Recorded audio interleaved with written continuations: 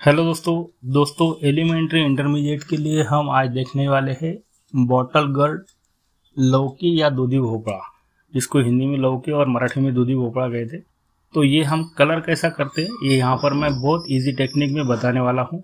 तो दोस्तों, अगर आपको ये वीडियो कंप्लीट देखना है तो यहाँ दिए गए लिंक पर आप जाके मेरा पूरा वीडियो देख सकते हो और अच्छे से आप प्रैक्टिस कर सकते हो। तो दोस्तों लिंक जो है, ये डिस्क्रिप्शन में दी गई है और कमेंट्स में भी दी गई है। तो ज़रूर ये वीडियो आप देख सकते हो।